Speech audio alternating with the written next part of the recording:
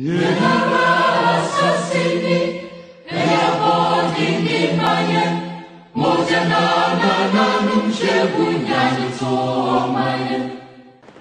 my name is Alhaji Irbard Ibrahim.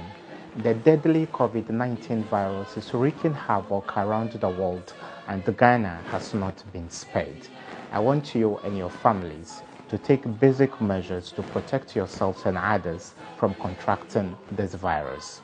Regularly wash your hand with soap and the running water and use an alcohol based hand sanitizer all the time.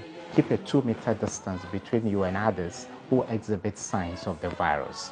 When you feel feverish, cough, and have or have difficulties breathing, don't hesitate to seek medical attention by calling the National Emergency Line 112.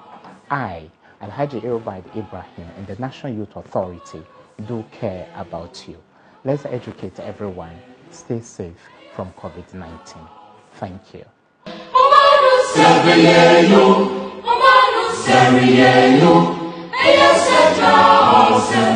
Mama